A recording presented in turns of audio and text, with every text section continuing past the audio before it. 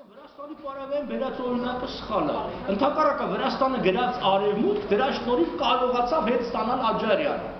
Այն պահին, քանի դեռ Վրաստանը չուներ արևմտյան կողմնորոշում, կորցրել էր եւ Աջարյան, եւ Աբխազյան, եւ Օսեթիան։ Եվ վտանգի տակ էր, որ կորցնել էր այլ բաներ եւս, ներառյալ Ջավախքը։ Հետո երբ որ եկավ Սահակաշվիլին եւ արևմտյան կողմնորոշում վերեց, նրան հաջողվեց Աջարյան հետ ստանալ Եվ գնացեք Աջարյան տեսեք այսօր ինչ ա դարը եւ եւ ստանալ բազմամիլիարդ ներդրումներ այսօր Վրաստանը երբ որ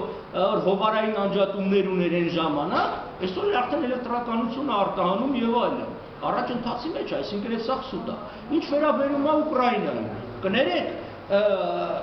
այդ նույն տրամաբանությամբ կարելի ասել, երբ որ ձեզ բռնաբարում են մի դիմադրեք եւ հաճույք ստացեք, որովհետեւ բռնաբարողը նույնն ուժեղ է։ Այդ նշանակա բռնաբարողին արդարացնել։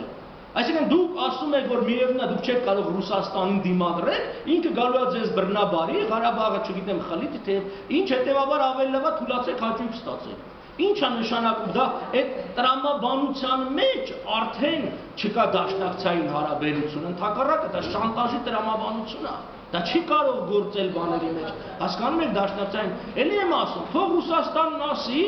այսինքն տեսեք, ստացվում է, որ մեր ղեկավարությունը մեղադրում է Ռուսաստանին շանտաժ կիրառելու մեջ։ Այլ ռուս բարձ ասում է, որ եթե մենք բան չանենք, ինքը մեր դեմ կգործի։ Եվ կա ամենակ բան փաստարկը, որ ի վերջո այսպես կոչված Ղարաբաղը պահելով մենք ամբողջ Հայաստանն ենք տակ տալիս։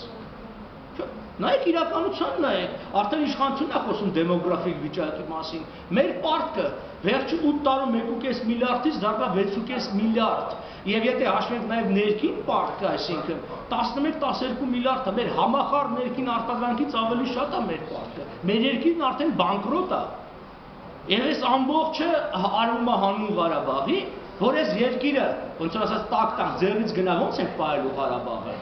Պարզից պարզ չի, որը որ եւ Ալիև երբ որ խոսում է Զանգեզուրի ու Իրիվանի մասին, ինքը գիտի ինչ է անում։ Ինքը լավ գիտի, որ Հայաստանի այս քաղաքականությունը բերելու է Հայաստանի այնպիսի թուլացման, որին ինքը իսկապես նման հավակնություններ է ցուցաբերում։ Այնպես որ այստեղ Ղարաբաղի հարցը թող մեջտեղ չբերեն, այստեղ Ղարաբաղը բոլորովին կապ չունի, այսինքն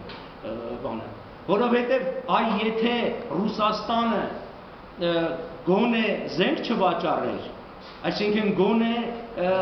իսկապես իր դաշնակցին պաշտպաներ, մենք ասենք դե լավ, հա հիմա ընկել ենք Ռուսաստանի ձեռը կրակը, բայց գոնե հանուն Ղարաբաղի, բայց կներեք այդ ծև չի։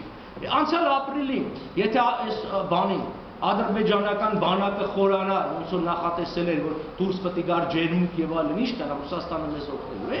Եթե մենք ամբողջ Ղարաբաղը ձեռից տանք, այդ անznազով տղերքի շնորհիվ չպահենք, Ռուսաստանը մատը մատին տալու է, չէր տալու, չէ, եկեք բարձ հասկանանք։ Հետևաբար Ռուսաստանը չի որ պահում է Ղարաբաղը։ Ռուսաստանը ընդհակառակը մի բան էլ էստեղ ապականացնող գործոն է։ Թող Ռուսաստանը